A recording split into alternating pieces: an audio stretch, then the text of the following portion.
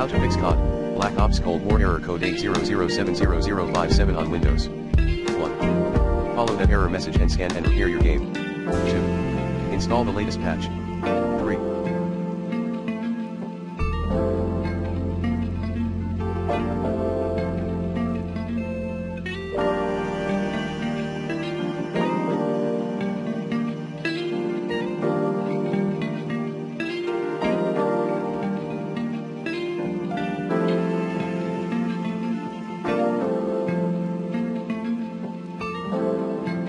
Update the graphics driver using the recommended Avast driver updater in this video guide.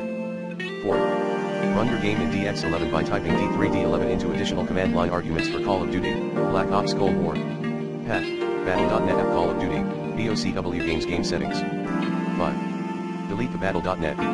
Cache folder at percent program data percent. 6. Set English as the Windows display language.